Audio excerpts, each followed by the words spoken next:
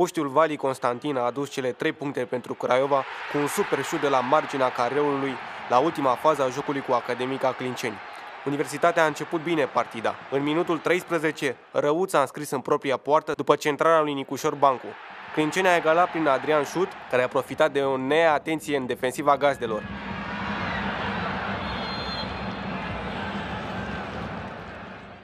Până la pauză, Oltenii au reintrat în avantaj prin Iva Martici, care a fost ajutat de fostul său coleg Nicolae Calancea.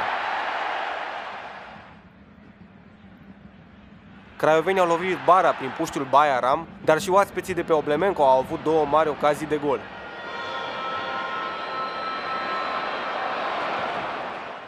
În al treilea minut de prelungiri, Nsiah a făcut liniște pe stadion, egalând scorul la 2. Totuși, s-a terminat cu bine pentru știința, după ce Constantin a marcat un eurogol, iar Craiova pleacă cu cele trei puncte de pe stadionul Ion Oblemenco.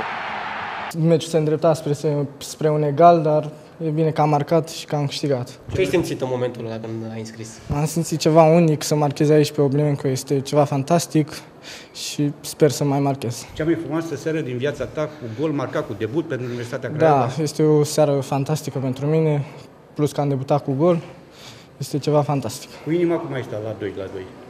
Mm, Am crezut că eu am greșit acolo la golul 2, dar colegii mei au spus că nu, eu am greșit și am, am avea moralul la pământ. Te aștept să fii titular în următoarele meciuri sau să joci mai mult?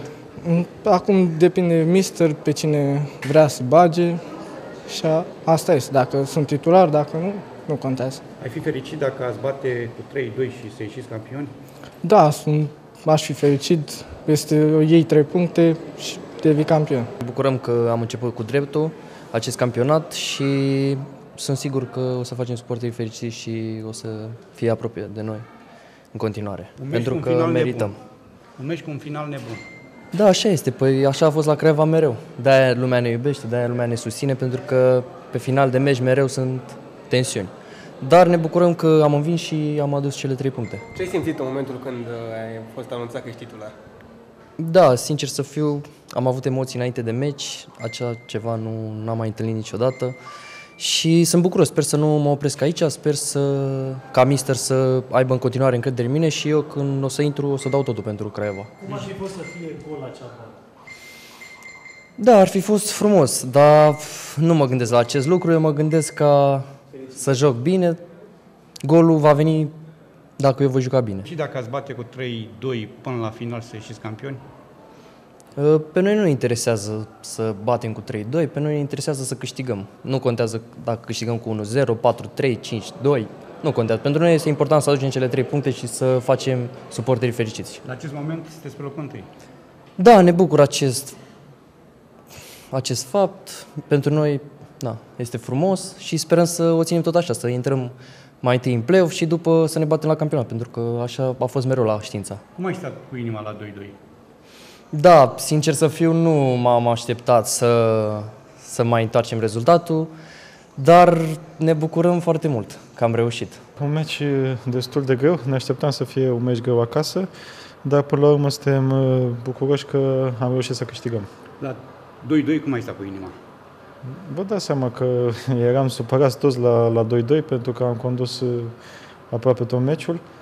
Să terminăm egal ar fi fost nedrept, zic eu. Ca la Bacu tot 3-2, te-ai, te-ar mulțumi un 3-2 în toate meciurile și să ieșiți campioni? Vă dați seama, atât timp cât, să- cât aduc victorii și noi marcăm mai mult ca adversarul, m-ar mulțumi. Sunteți pe locul întâi în acest moment. Da, și așa sper să rămânem până la sfârșitul campionatului. Aveți față de campioni? Eu zic că da. Această victorie ne dă moral pentru, ne dă încredere pentru meciurile care vor urma. Cu Cu 3 ce v-a surprins astăzi Clinceniul? La un moment dat chiar au pus probleme. Păi ne-au surprins cu acea fază fixă, când ne-au egalat, în care eu zic că a fost fault. Eu am simțit acolo în spate că am fost împins. Apoi mai departe, nu știu, nu, nu am mai văzut cum, cum am luat acel gol. Nu, eu zic că, că nu ne-au surprins, deși ne așteptam ca ei să facă un joc mai mult, mai mult de contră. Cum ai De- comentat de, uh, reacția publicului la golul legalizator din prelungiri? S-a Uh, strigat demisia. Eu nu comentez uh, scandările publicului, trebuie să fie alături de noi și la bine și la greu și să susțină echipa. Trei tineri din propria pepinieră, trei copii ați avut în teren astăzi. Trei debuturi pentru Universitatea Craiova. Da, este foarte bine. că, că au debutat, au făcut-o foarte bine, toți. Vali Constantin a marcat un gol uh, excepțional, care ne-a adus uh, trei puncte mari astăzi. The first game in the in the season is always hard, uh, but I think uh, we do a good performance, take three points, and we are happy with this. What did you feel at uh, 2-2?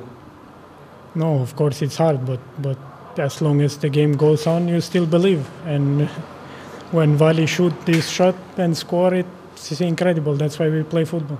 How do you find the public? Amazing. They make noise all the all the time through 90 minutes, help us a lot, and it's amazing. Fostul jucător al Universității Creva, Nicolae Calancea, își asumă greșelile la primele două goluri ale oltenilor. Un meci nebun, pierdut uh, de mine în mare parte. Am făcut primul gol, să zic, nu ne-am înțeles cu apărătorul. Al doilea gol este 100% a meu. Deci echipa a jucat foarte bine, dar am pierdut pe, pe seama mea și îmi cer scuze pentru asta.